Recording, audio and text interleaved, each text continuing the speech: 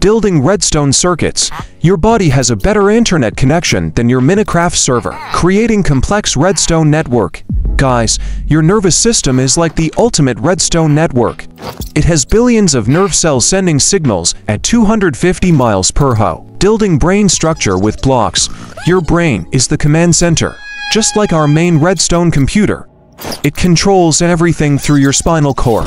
That's your main data cable, demonstrating quick redstone responses. When you touch something hot, your nerves react instantly.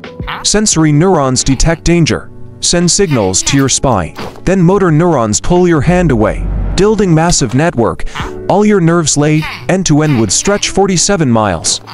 That's like connecting redstone from spawn to the world border, showing automatic systems.